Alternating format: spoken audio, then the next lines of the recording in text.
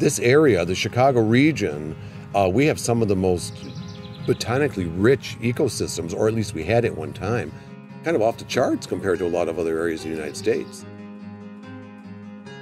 We got the, the northern regions, we've got the lakeshore regions, you know, we've got um, glaciated areas like Starved Rock, and then prairie in between. There's a lot of diversity here.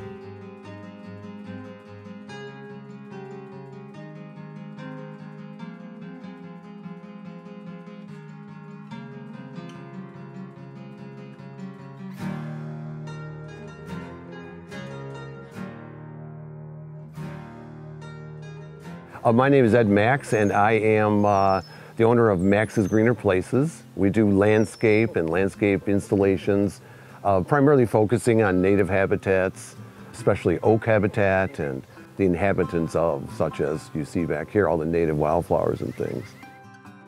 I live in West Chicago, have a nice little parcel of land here, which was a well-developed garden before I got a hold of it, and now I've been kind of adding to it, increasing species diversity, all that sort of thing.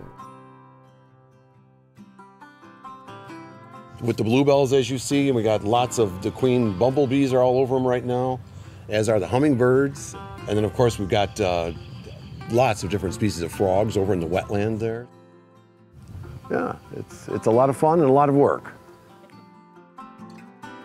Because of pressure from overpopulation of deer, uh, garlic mustard, Asian honeysuckle, the list goes on with invasive species, we're really starting to see a decline in all of our higher quality native spring ephemerals in particular.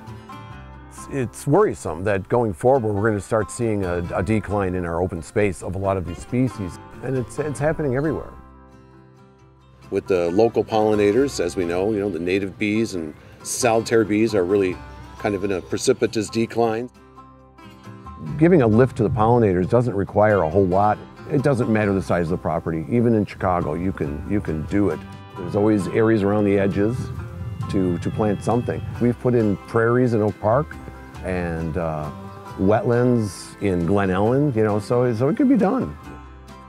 There could be an area, for instance, in the back corner where you would plant some of the native goldenrods or bee balm, monarda, and you, you sit back and watch and it's just remarkable the, the explosion of life that you'll see on these plants when they're in flower.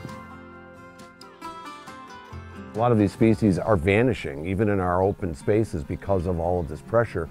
So we have uh, Noah's Ark of sorts, you know, a, a collection that hopefully someday can be put to good use to reintroduce into some of our areas that are losing all this diversity.